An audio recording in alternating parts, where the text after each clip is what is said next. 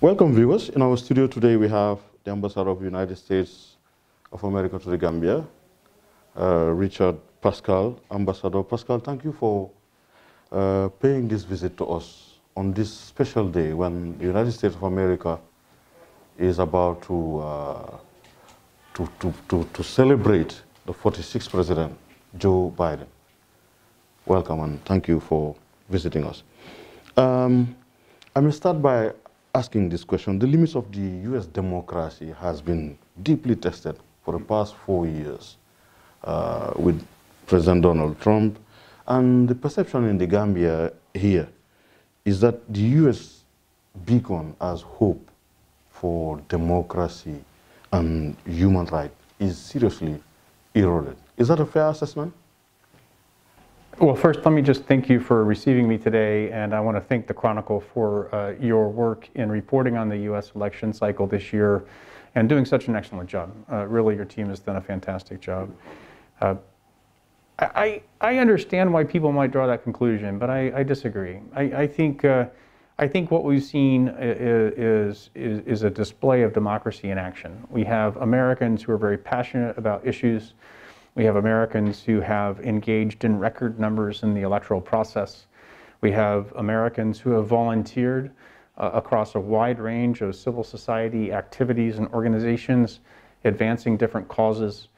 And I think, in, point of fact, it, it shows that Americans are passionate about democracy, they are passionate about their constitutional rights and freedoms, and they are passionate about the future of the country. I think what it does show is that there are very deep divisions in the United States and different, different uh, perceptions of where people want the country to go. And I, I think that that, uh, I, have said this in the context of the Gambian electoral uh, politics, but it also is true for any democracy. This has to be a competition of ideas, uh, appealing to people based on facts uh, and, uh, and seeking to draw support uh, in the democratic, constitutionally based process. Uh, it can't be um, uh, it can't be anything other than that and still call itself democracy. And that's what we've seen in America. It has been controversial.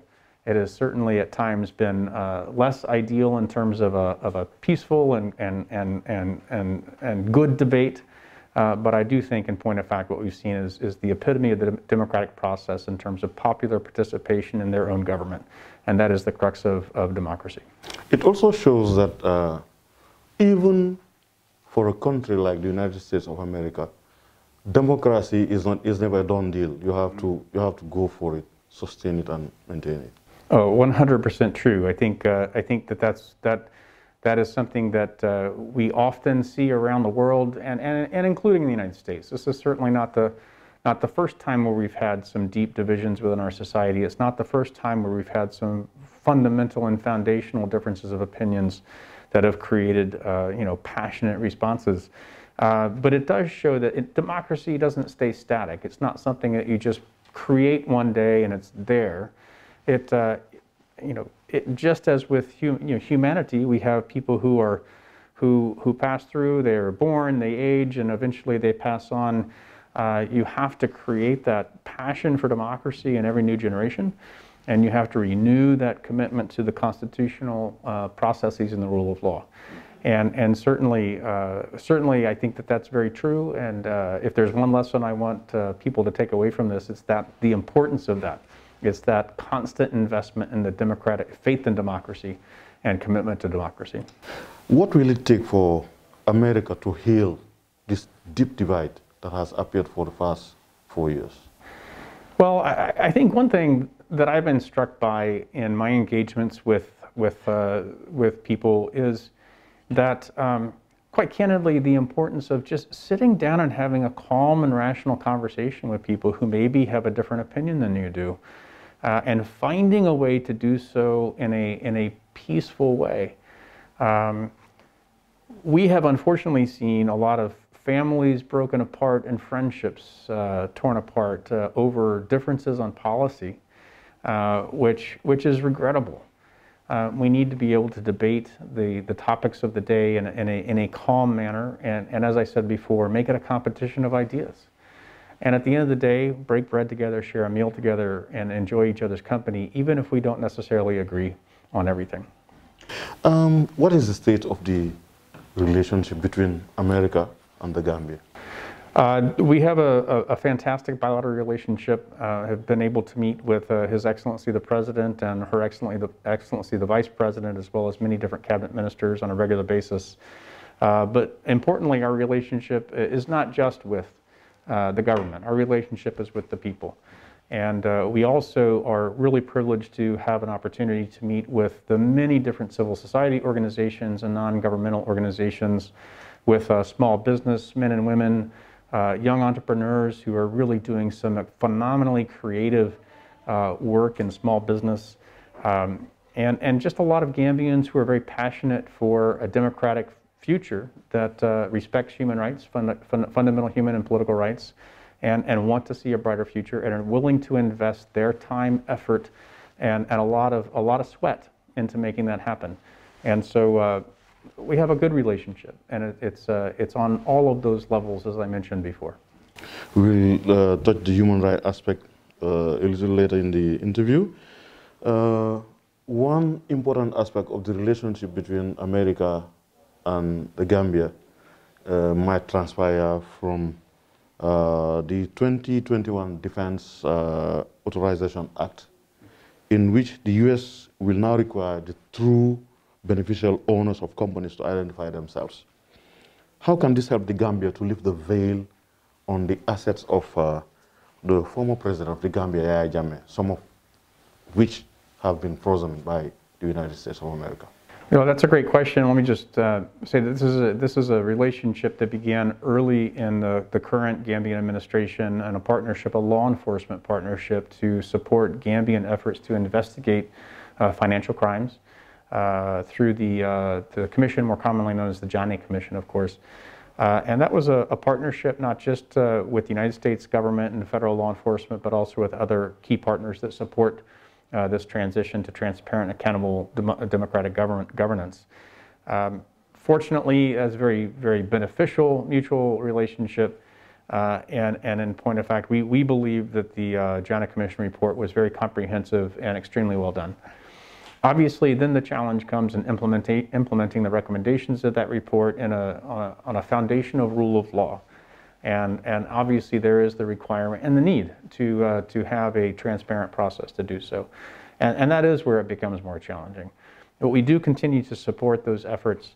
There is ongoing now a legal process. It's appeared uh, obviously in the Gambian news media of a, of a large home in, in suburban, in Maryland, in the suburbs of Washington, D.C., uh, that uh, we have shown, we believe, uh, beyond any reasonable doubt, was purchased with ill-gotten proceeds of, of corruption um, by the Jammeh family uh, and has been uh, frozen. That asset has been frozen pending disposition through the rule of law process in the United States.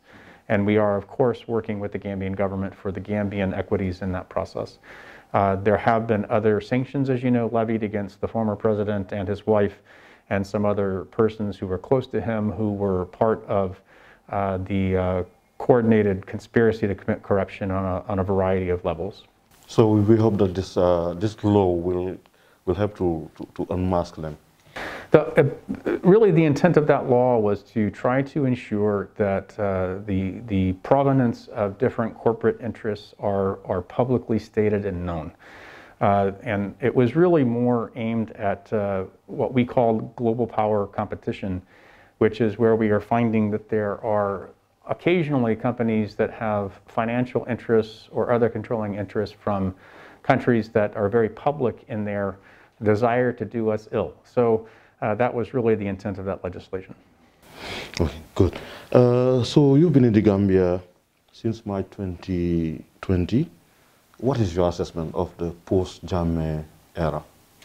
Uh, just a correction, I, I, arrived in March of 2019, uh, so I've been here almost two years now. It's hard to believe it's almost been two years. Quite frankly, the situation with COVID has made time go uh, in some ways much faster and in other ways much slow, more slowly. Uh, I find an energy and a vibrance in the Gambia and a passion for the future of this country uh, that, that really is unrivaled. Uh, I find a, a, deep appreciation and desire for, for uh, you know, good, transparent, accountable democratic governance. And I find people that are really interested in understanding better uh, what that means in the Gambian context. Because this is different in every country and how, based on you know, the Gambia's history and traditions, how, how does that manifest itself in Gambian law, the new draft Gambian constitution, which obviously, as we all know, there is an ongoing mediation effort to try to resolve differences over that. And, and, uh, and I find that there's just a tremendous energy here. As I said before, young Gambian entrepreneurs who are really doing creative things in business, establishing networks across Africa and, and uh, overseas with uh, potential uh, business partners uh, and of course, uh, increasing confidence, I think, in the, in the, in the future of the Gambia. Now, COVID-19 has been a, a real heavy blow. it's been a heavy blow around the world. Certainly it's been a heavy blow in my country. It has created some significant economic disruptions here in the Gambia, no doubt. Uh, I know a lot of people who are really struggling economically and financially right now due to the hit on tourism in particular. And, and of course, um, um, that is something that, that, that I'm sure the Gambia, as other countries, will struggle with for, for several years as we seek to recover from the impact of COVID-19. I do think the government took some really important uh, immediate steps, uh, but I would be remiss if I did not comment that you and I are sitting uh, maybe a meter apart, so we have our face coverings on, our masks on, and uh, but I, I, just urge Gambians, uh, most Gambians when you're driving down the road or, or, or going by a market are not wearing face coverings. Uh, businesses that have signs up that say no mask, no entry don't seem to be asking people to put masks on. When I go into those businesses, um, people or most people, if not all people, are not wearing masks, including the staff of business establishments that should be. And I would just urge that there be a, a, a re rededication on the part of the Gambian public to the very basic preventive measures that the Ministry of Health has published. And, uh, and I would urge that that, uh, that, that be made a priority. You talked about the energy from the Gambian people, uh, their desire to get the country at a better stage. But it seems that that's not what the public decision maker is taking. That's, that's, that's the government. Uh, you've mentioned the Janneh Commission. The implementation is a problem. The constitu draft constitution, it was kind of uh, dropped until people have to put pressure to get it revived and so on uh, the TRRC, there are fears that the timeline might be too short for the recommendations to be implemented and, and, and so on. What is your assessment of all, all that? It seems like the government seems to have a small disconnect with the population, the, the, the need, the, the, the will of the Gambian people to move forward. Uh, I think first of all, I would observe that the, the breadth and depth of the reforms uh, that have been undertaken uh, by the government are, are really uh, unprecedented, I would argue. Uh, this is a small country. It's, it's a pretty small government when it comes down to it. And unfortunately, in, in many respects, based on a lot of different analyses, uh, the government had been, uh, uh, I guess, developed over a period of two decades to, to really be focused on and serving the interests of a very small subset of people. and so um, it, it, takes some time for those reforms to take hold. It is important. The Gambian people uh, are, are watching, and uh, there, is an, there is an electoral process coming up, and of course it is at the polls where the voters get to hold accountable their elected representatives. I've said this in, in other venues, but I would just emphasize that the National Assembly members are elected, most of them, uh, by the people. Uh, their constituents can and should contact their National Assembly members to express their concern over, over any matters that go before the National Assembly to include the Constitution draft, to include, uh, there are numerous pending pieces of legislation, including an anti-corruption bill that would create a, an anti-corruption commission. And uh, if I hear one repeated theme from Gambians I talk to, it's their concerns about increasing corruption in the country. Um, there is pending legislation to overhaul uh, the criminal, uh, criminal code, the criminal procedure code that is still pending in the National Assembly there are any number of pieces of draft legislation that, that require debate and passage uh, by the National Assembly uh, in order to uh, implement many of these different reforms that Gambians themselves are clamoring for. Uh, but again, the ultimate accountability comes at the ballot box. So uh, I urge Gambians just to stay informed, stay engaged. uh, and to make their voices heard. And then uh, when it comes time to go to the polls, make sure if you're going to be 18 in December of this year, make sure you know how to register to vote and you register as soon as those registration processes begin. Um, since November 2020, Gambians are required to pay $15,000 bond, $15,000 bond uh, to be issued an American visa. Why, why, why the Gambia specifically? Thank you for asking me that question. Uh, and, and I just want to clarify. Uh, unfortunately, there was a news report that went out about this uh, before all the facts had been released by the U.S. government. Uh, it was a news report by one of the major international wire services that unfortunately dominated the, the, the news cycle. Um, in point of fact, not all Gambians, uh, this is not a bond that all Gambians would pay to receive a visa. Uh, this is a this is a, a bond. It's a it's an element of U.S. law, which has actually been in the law for decades, that persons who are ineligible for an existing reason, someone who has been deemed ineligible to receive a visa, if there is a compelling interest for them to receive a temporary visit visa, then they can apply for or request an application for a waiver to be accompanied by payment of a bond. And of course, the bond is really intended to be a bit of an assurance, financial stake for that person to return following that visit. It's a bit of a lengthy process, but it does not apply to all Gambians who might apply for a visa. Mm -hmm. Uh, the last question is the 2020 U.S. Treasury Department, uh, specially designated nationals and block person, continues to mention some name like Mohamed Bazi, uh, like Kanafer Hisham, like the Colombian FARC rebel Edison Romana. Does that mean that those people continue to be having the Gambia as a safe haven, or does the U.S. believe that those people continue to have connections with the Gambia because their name has been directly attached to the Gambia? Well, for each individual, you need to look at what the, the, the public release was on why they were designated uh, under these provisions of U.S. law, and it just varies. Uh, but this is not a designation specific to the Gambia. These are global designation processes. In some cases, these are people who have had or, or continue to have or, or may continue to have financial interests and ties and other types of ties to the Gambia, and uh, that we have identified as having violated uh, in most cases, not just U.S. law, but in often cases, uh, and oftentimes it's international law.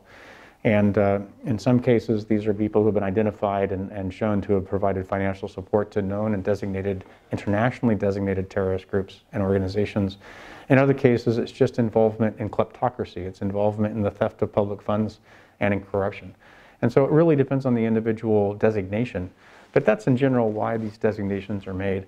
These are, are quite effective when it comes to making it at least far more difficult for those individuals to take advantage of the international financial system uh, for their nefarious activities. And so that's really the intent. In most cases, we are uh, joined by other international, other countries in the international uh, scene and international organizations in many of these uh, types of designations. Mm -hmm. Is there any chance that we have Fatou Bom Bensouda, the current International Criminal Court prosecutor, her, will, will, we have her name removed from that list? You know, I, I, I, I certainly am looking at uh, looking forward to seeing what evolves in terms of that relationship with the ICC. Um, there are some legitimate concerns, I think, uh, and certainly my government believes there are legitimate concerns about the investigation that was launched and the way it was launched. We have made those concerns known, uh, not just in private to, uh, to uh, the chief prosecutor and other members of the ICC uh, leadership, but, but also in public statements. So our position is well known, uh, and, uh, and we'll see where this goes in the future. Mm -hmm. Ambassador, we thank you so much for visiting the Chronicle. my privilege. Thank you so much for the invitation. You're welcome. Thank you, viewers.